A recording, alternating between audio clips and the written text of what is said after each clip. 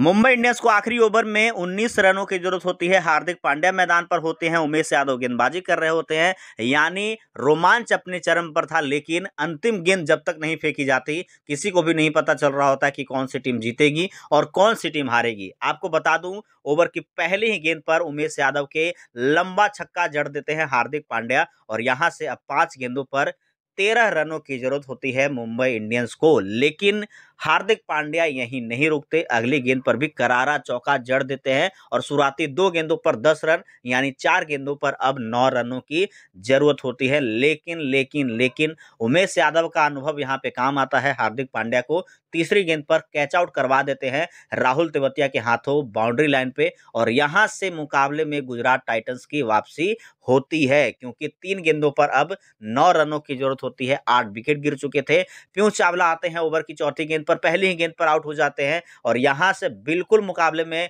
लौट चुकी थी गुजरात टाइटंस। नौ विकेट गिर चुके थे मुंबई इंडियंस के और दो गेंदों पर अब नौ रनों की ज़रूरत होती है। हैट्रिक बॉल पर थे वहाँ पे उमेश यादव, लेकिन सामने बुमराह नौ विकेट गिर चुके थे।